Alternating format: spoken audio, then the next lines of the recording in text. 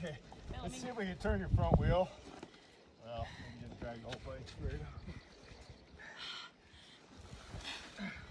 Okay, right? Oh. There we go. Oh. Up.